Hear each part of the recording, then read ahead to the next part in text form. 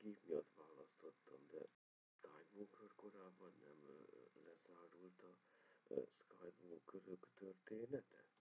Daisy Riley főszereplésével Ray Skywalkerre ki